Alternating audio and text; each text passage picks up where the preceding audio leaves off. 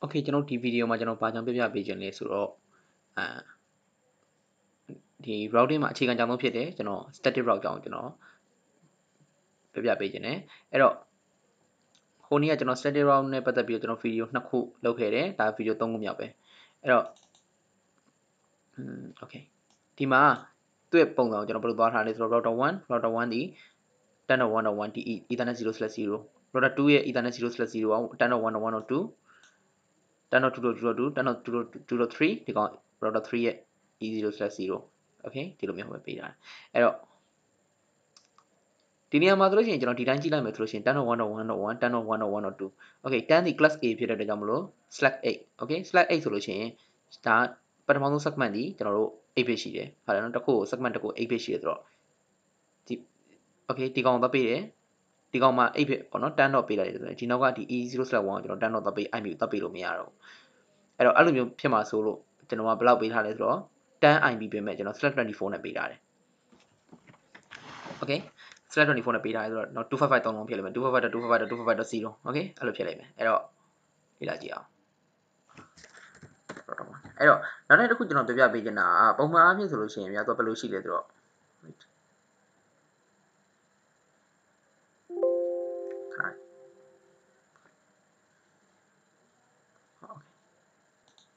ပုံမှန်အမြင့်ဆိုလို့ရှိရင်သူကဘယ်လိုပုံစံမျိုးနဲ့သွားလဲဆိုတော့ router 1နောက်ကကျိုးဆင်းလာမယ်ကျိုးဆင်းပြီးပါလို့ရှိရင်ဒီမှာ switch ရှိလိမ့်မယ်ဗျာ switch ကနေမှကကွန်ပျူတာရှိလိမ့်မယ် right အဲ့တော့ကွန်ပျူတာရှိလိမ့်မယ်ဒီဘက်မှာလည်းဒီတိုင်းပဲ router 4 switch ရှိမယ်အဟံကွန်ပျူတာရှိမယ်ပေါ့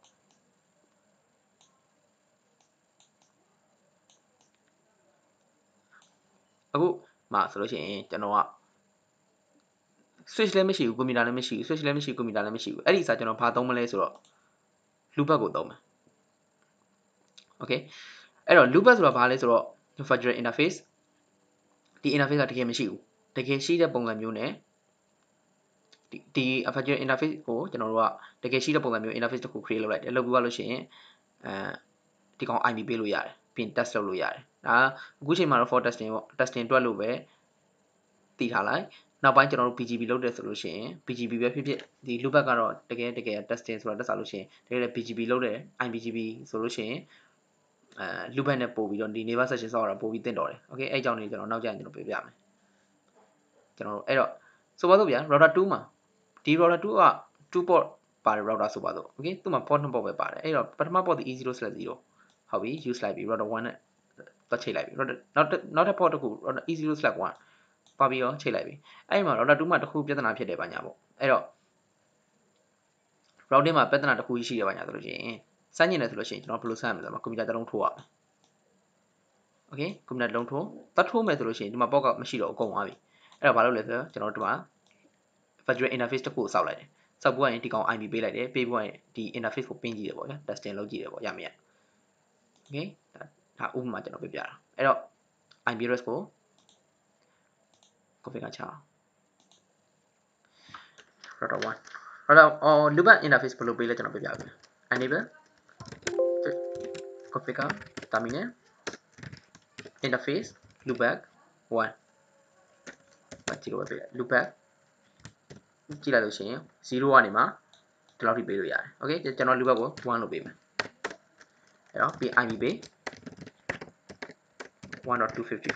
။ တော့ 0 okay no ချက်သွားရိုက်စရာဒီဘက်ကမလိုဘူးဘာကြောင့်လဲဆိုတော့ तू က auto ရိုက်ပြီး auto သူကနေသူ create လုပ်လိုက်ပြီဆိုရင် तू က auto app သွားတယ်နော်အခုကျွန်တော် router 4ဘက်မှာလည်း create လုပ်မယ်ဒီဘက်ကျွန်တော်တို့ရဲ့နောက်ဆုံး final project ကဘယ်လိုပုံစံမျိုးလဲဆိုတော့ဒီမှာရှိတဲ့လူဘက်ကနေမှာဒီမှာရှိတဲ့ကောင်ကိုကျွန်တော်တို့ဒီကဒီကလူဘက်ကိုရောက်ပါ okay သုံးမဲ့ route ဒီကျွန်တော်ဘာသုံးမလဲဆိုတော့ static route သုံးမယ်ဟုတ်ပြီနော်ဒါ router 4 configure terminal interface loopback 1ဒီကောင် loopback 1ပဲပေးမယ်ဒါ loopback ကတော့သူနံပါတ်တူရင်တူမတူရင်နေရတယ်ပြီးရင် IP ဒါ interface IP ပေးတဲ့ဟာနဲ့တူတူပါပဲ4.254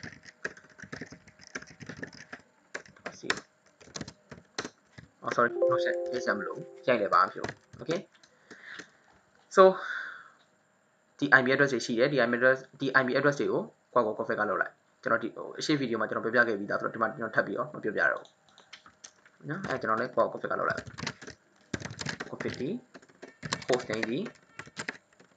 R1 interface E0/0 IP address ဒီ10.1.1.1 slash 24နဲ့ပေးမယ်ဆိုတော့245.0 no chat okay router 2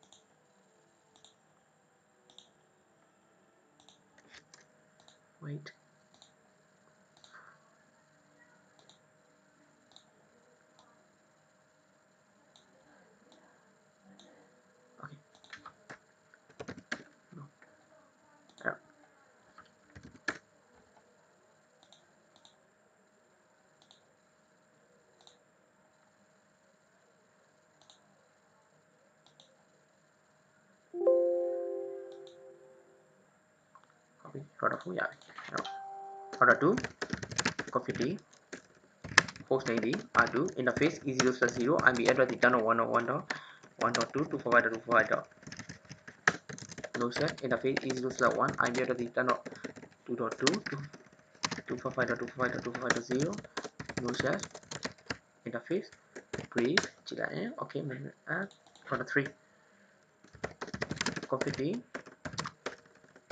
host B R3 interface is equals to 0 IP address is cannot go to dot 3 to provider to provider 2 dot 0 no set interface is equals to 1 IP address is cannot 4 dot 4 dot 3 provider to provider 0 okay dot 4 dot 4 host B R4 interface is equals to 0 and here are the end of 4 4 4 2 5 2 5 2 5 0 motion show okay අපි කියන අයිමිරස් කොක්කොම එකක් ලොබි ගාවි එරෝ සංජිල රට 2 වනිම රට 1 ඒ ටි එනෆේ කොපින්ජි රට 2 වනිම ටි කොයි the interface එනෆේ කොපින්ජි ලා එරෝ ping 100101 okay ping 10.2.2.3 okay fine fine router 3 router 3ကလည်းသူ့ရဲ့ဒီ interface ကို router 4သူ့ရဲ့မျက်နှာချင်းဆိုင်ဒီကောင်ကိုပင်ကြည့်ပြီးရင်ဒီကောင်ကိုပင်ကြည့်လိုက်ကျွန်တော် IP address configure လုပ်တာမှန်မှန်မှန်ပေါ့ဒါအလွယ်ဆုံးနည်းပဲ configure ဆက်တယ်တော့2ရပြီ okay အဲ့တော့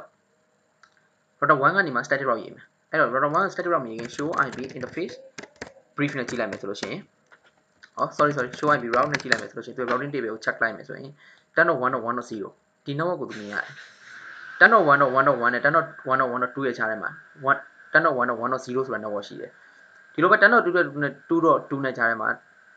sorry 10.2.2.2နဲ့10.2.2.3နဲ့ဒီကြားထဲမှာ10.2.2.0ဆိုတဲ့ network ရှိတယ်။ဘာကြောင့်လဲဆိုတော့ကျွန်တော် strat 24သုံးတာရှစ်တက်ဒီရှစ်နဲ့ဆိုတော့8324ပြီးရင်ဒီကောင်ကြီး0ဒီလိုပဲ ဒီဘက်မှာလည်း strat 24သုံးထားတယ်10.4.4.3နဲ့10.4.4.4ကြားထဲမှာ10.4.4.0ဆိုတဲ့ network ရှိတယ်။ Okay တကယ်လို့တကယ်လို့ဒီမှာသာ slash 8နဲ့သုံးထားမယ်ဆိုလို့ရှိရင်10.0.0.0ဆိုတဲ့ network ဖြစ်လိမ့်မယ်။ right အဲ့တော့အဲ့ဒါကိုကျွန်တော်သိရမယ်အဲ့တော့ router 1ကနေမှကျွန်တော်ဒီကိုအခု router 1ကသူကဘယ်ထိသိလဲဆိုတော့သူကဒီထိသိတယ် okay router 1ကဒီထိသိတယ်အဲ့တော့သူကဒီနောက်က network ကိုသူကမသိဘူးမသိတော့သူ့ရဲ့ routing table တွေမှာလည်းမသိတော့တကြောင်မလို့မရှိဘူး အဲ့တော့သူ့ရဲ့ routing table တွေမှာဒီကောင်ကိုကျွန်တော်ထည့်ပေးလိုက်မယ်ရေတော့ဒီ network ကိုသွားတော့ config static route IP route format network ဒီဒီကောင်ကိုပါမယ် okay 10.2.2.0ဟုတ်တယ်နော်10.2.2.0အဲ့တော့သူရဲ့ဒီဒီ network ရဲ့ subnet mask ဒီ255.255.255.0ကျွန်တော် strat 24နဲ့ပေးခဲ့တာပြီးတော့နောက်တစ်ခုပါလဲဆိုတော့ သူ router 1ကထွက်မဲ့ gateway ဒီ router 1ကဒီကိုသွားချင်တယ်ဆိုဘယ်ကထွက်မှာလဲဆိုတော့ router 2ရဲ့ဒီဒီကောင်ထွက်မှာဒီ interface ပေါ့နော်10.1.1.2ဆိုတဲ့ကောင်ထွက်မှာအဲ့တော့10.1.1.2အဲ့ဒါဟုတ်လားဒါပဲဟုတ်ပြီအဲ့တော့ router 1ကဒီထိသိသွားပြီကျွန်တော်မယုံရင်စစ်ကြည့်လိုက် is it show ip route okay ဒီကိုသိသွားပြီ10.1.1အဲ10.2.2.0ကိုသိသွားပြီ slash 24 နဲ့ okay ဒီဒီ number ကိုသိသွားပြီဘ ယ်ကနေထွက်လဲ10.1.1.2ဒီကနေထွက်ရမယ်ဆိုတော့သိသွားပြီဟုတ်ပြီအခုကျွန်တော်တို့ကရောက်ချင်တာကဒီ number ဒီကိုရောက်ချင်တာမဟုတ်ဘူးသူကအခုဒီထိသိသွားပြီဒီကိုရောက်ချင်တာမဟုတ်ဘူးဒီကိုရောက်ချင်တာအဲ့တော့ဒီ number ကိုလည်းသူမသိသေးဘူးဒီ number ကိုလည်း router 1နဲ့ကိုထည့်ပေးရမယ် profit ib route 10.4.4.0ဒီ number ပြီးရင်255.255.255.0အတူရ subnet mask ပြီးရင် router 1ကဒီ network ကိုရောက်ဖို့အတွက်ဘယ်ကထွက်ရမှာလဲဒီကပဲထွက်ရမှာပဲ e0/0 10.1.1.2 okay ဟုတ်ပြီဒါဆိုလို့ရှိရင်ပြန်စစ်ကြည့်လိုက်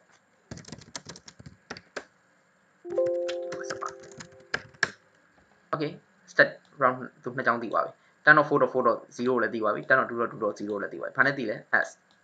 s ဆိုတာဘာလဲဆိုတော့မဖတ်လို့ရတယ် static route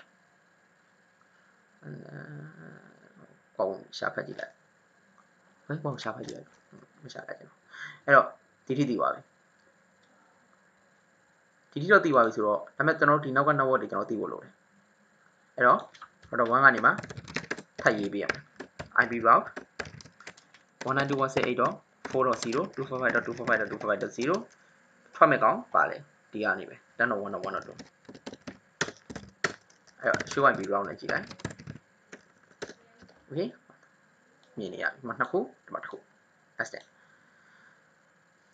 ဒါပေမဲ့အခုချိန်အခုလိုအချိန်မျိုးမှာဒီကနေမှဒီကိုသွားပင်းကြည့်လိုက်ရှိ routing table မှာရှိတာမှန်ပေမဲ့သွားပြီးပင်းကြည့်လိုက်192.168.4.254သွားပင်းကြည့်ပင်းလို့မထွက်ဘူး right ဘာလို့ပင်းလို့မထွက်လဲဆိုတော့ရှင်းရှင်းလေးပဲဒီ router တွေဒီ router တွေက तू ကသူ့ရဲ့ routing table မှာတော့ဒီကောင်ဒီကောင်ရဲ့ information ရှိသွားပြီဒါပေမဲ့ तू ကနေထွက်တဲ့အချိန်မှာဒီ router မှာ သူ့ရဲ့ routing information သူ့ရဲ့ information မရှိဘူးဟင် तू ကသိတာ तू သူ့ရဲ့ဒီ interface ကိုသိတယ်သူ့ရဲ့ဒီ interface ကိုသိတယ်ဒီ router 2ကအဲ့တော့ तू ကဒီ information ကို तू မပေးနိုင်ဘူးမပေးနိုင်တော့ तू မသွားတာဘူး router 3ကလည်းကြီးလိုက်လို့ရှိရင် तू က तू ကလည်းဒီထိပဲသိတယ်ဒီထိပဲသိတယ်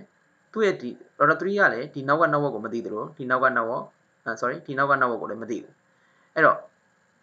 သူတို့မှာမှကျွန်တော်တို့ပြန်ပြီး static route ပြန်ရေးပေးရမယ် okay အဲ့တော့ router 2 router 2ဆိုလို့ရှိရင်ရေးပေးရမှာ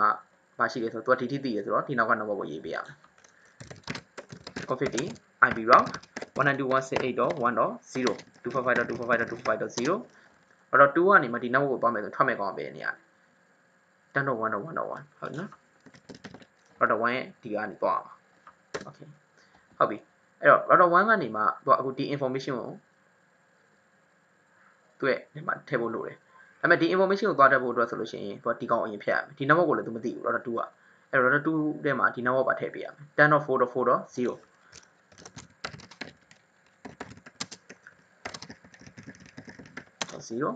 ်ပြီ router 2ကထွက်မဲ့ကောင်ပေးနေရလဲ ethernet 0/0 okay အဲ့တော့ဒီ router 3ကနေမှဒီ network ကိုရောက်ချင် router 3ရဲ့ဒီ interface ကနေထွက်ရမယ်ဒီ interface ဒီ10.2.2.3ဒါပဲပြီးရင် အခုဒီထိရောက်သွားပြီ router 2ကဒီထိသိသွားပြီအဲ့တော့ဒီနောက်က network ကိုထပ်သိဖို့လိုတယ်ထပ်ရေးပေးရမယ်4.0 255.255.255.0ထွက်မဲ့ကောင်ဒီ10.2.2.3ကထွက်ရမယ် router 3ရဲ့ဒီဒီကောင်ကထွက်ရမယ် okay router 2ဘက်အချမ်းပြီးသွားပြီအဲ့တော့ router 2ထဲမှာဒီ information ရှိသွားပြီဒါပေမဲ့ router 3ကသူ့ကဒီကိုသိတယ်ဒီကိုသိတယ်သူ့နောက်က network မသိဘူးဒီ network ကိုမသိဘူးဒီ network ကိုမသိဘူး အဲ့ router 3ထဲမှာလည်းအကုန်လုံးသိအောင် static route ရေးပေးရမယ် router 3ကိုသွားလိုက် IP route အရင်ဆုံးရေးရမှာသူကဒီထိသိတယ်ဆိုတော့ဒီနောက်က network ကိုရေးပေးရမယ်ဟုတ်နော်ဒီဒီ 10.1.1.0အဲ့တော့သူထွက်မဲ့ကောင်ဒီ e0/1 10.2.2.2နောက်တစ်ချက်နောက်တစ်ကြောင်းနောက်တစ်2 IP route ဟိုဒီထိသိပါဆိုတော့နောက်ကကောင်ရေးပေးရမှာ 10.2.2.2အဲ့ဒါပဲဟုတ်ပြီအဲ့တော့3ကသူ့အနေနဲ့ဒီဘက်ကိုကြည့်မယ်ဆိုလို့ရှိရင်ဒီထိသိပြီးသားဒါပေမဲ့ဒီနောက်က network ကိုမသိဘူးမသိရတဲ့ကြောင့်မလို့သူကဒီမှာဒီနောက်က network ကိုရေးပေးရမယ်168.4.0 255.255.255.0 10.4.4.4 okay ဒီ network ကိုပေါက်ဖို့တော့ကသူထွက်ရမယ်ကောင်းပြီဒီကထွက်ရမယ်ပြီးပါပြီအဲ့တော့ router 4 router 4အနေနဲ့ကြည့်ကြည့်မယ်ဆိုလို့ရှိရင်လည်း router 1လိုမျိုးပဲသူကဒီ router 3တိသိတယ်သူရဲ့ loopback ကိုသူသိမယ်ဒီ network မသိဘူးဒီ network မသိဘူးဒီ network မသိဘူးအဲ့တော့ဒီ network တွေအကုန်လုံးရေးပေးရမယ်သူကကြတော့ left side မှာရှိတဲ့အကုန်လုံးကသူ့ရဲ့ left side မှာကြီးပဲရှိတာဆိုတော့သူထွက်မဲ့ကောင်က10.4.4.3ရပဲထွက်စီရရှိတယ်โอเคအဲ့တော့ရေးပေးရ profit ဒီဒီလုံးဒီ network ရေးမယ်10.2.2.0 255.255.5.255.0 okay ပြီးရင်သူထွက်မဲ့ကောင်က10.4.4.3 okay အာ sorry IP route ကြိုင်ခဲ့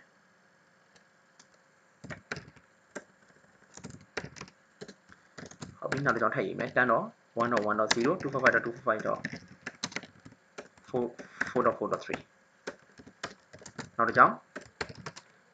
အခု order 3 order 4ကဒီကိုရောက်သွားပြီဒီကိုရောက်သွားပြီနောက်ဆုံးဒီတစ်ကောင်ဒီကောင်ကိုရေးရမယ်လှုပ်ပတ်ကို 168.1.0 245.245.245.0 10.4.4.3ဒါပဲအဲ့တော့ show and background နဲ့ကြည့်လိုက် show and background static ဒါ static ဆိုတာ static route တွေပဲခေါ်ကြည့်တာ okay ခေါ်ကြည့်လိုက်မယ်ဆိုလို့ရှိရင် static route တွေတွေ့နေရတယ်ဒီကိုသိတယ်4ဒီကိုသိတယ်ဒီမှာဒီကိုသိတယ်ဒီကိုသိပါအဲ့တော့ပင်းကြည့်လိုက် ပင်း192.168.4.254 repeat 100နဲ့ပင်းကြည့်လိုက်ဒါ1000ထားရပါ packet tracer မှာဆိုရင်တော့ဒီ command ကပင်းဒီထိပဲရနိုင်မယ် repeat တွေပါရမယ်မထင်ဘူးကျွန်တော်က right router 1ကနေမှဒီကိုသိပါပြီအဲ့တော့ router 1ကဒီထိရောက်ပါပြီအဲ့တော့သူ့ရဲ့ loopback ကိုသူ loopback ကို source ခံပြီးပြင်ကြည့်လိုက်အာ 192.168.4.254 source 1.254 okay ဒါပါလဲဆိုတော့ okay ဒီနောက်ကသူ့ရဲ့ network ကြီးတစ်ခုလုံးဒီ network ကြီးကနေမှလှမ်းပြီးပင်းတာဒီဘက်ကို router ကနေပဲလှမ်းပြီးတော့ပင်းပင်းတာ packet tracer မှာအဲ့ command လုံးမလုပ်တော့ okay router 1ရဲ့ဒီ loopback ကအခုချိန်မှာဒီထိရောက်သွားပြီအဲ့တော့ trace လိုက်ကြည့်လိုက် ဒီ hook ကနေတွေ့ရမှာ okay router 4ကနေပဲသွားကြည့်အောင် show IP route router 4ကနေမှ show IP route static static ကိုခေါ်ကြည့်လိုက် okay သူမြင်နေရပြီအဲ့တော့192.168.1.254ပြင်ကြည့်လိုက် okay ဟုတ်ပါပြီ source ခံကြည့်လိုက်192.168.254 okay သူ့ရဲ့ loop ကလည်းဒီထိရောက်သွားပြီဒါဆိုလို့ရှိရင်ကျွန်တော်တို့ရဲ့ project ပြီးသွားပြီဒီမှာရှိဒီနောက်မှာရှိတဲ့ network ကဒီနောက်မှာရှိတဲ့ network ကိုရောက်သွားပြီ okay router 1ကနေမှဒါ trace လိုက်ကြည့်မယ်ဆိုလို့ရှိရင်10.1.1.2သူကဒီကိုသွားတယ်ပြီးရင်10.2.2.3ဒီ network ကိုရောက်ဖို့တော့ကိုဒီကိုသွားတယ်2.3ဒီကိုသွားတယ်ပြီးသွားလို့ရှိရင်10.4.4.4ဒီကိုရောက်တယ်ပြီးဒီကိုရောက်တယ် okay အဲ့တော့ show IP route static နဲ့ခေါ်ကြည့်လိုက် okay ဒီမှာ static route တွေကျွန်တော်မြင်နေရပြီအဲ့ဆိုတော့အဲ့တော့ဒီ1ကိုကျွန်တော်တို့ဘယ်လိုခေါ်လဲဆိုတော့ administrative value လို့ခေါ်တယ် oh sorry administrative distance လို့ခေါ်တယ် AD value လို့လည်းခေါ်တယ် static route မှာဆိုလို့ရှိရင်ဒီကောင်1ဒီ default ပဲဒါကိုကျွန်တော်သိရမယ် okay အဲ့တော့ဒီအကြောင်းကိုအဲနောက်ဗီဒီယိုတွေကြာရင်ကျွန်တော်လေ့လာမယ် so အဲဆိုရင်ကျွန်တော်တို့နောက်ထပ်ဗီဒီယိုတွေကြာရင်တွေ့မယ်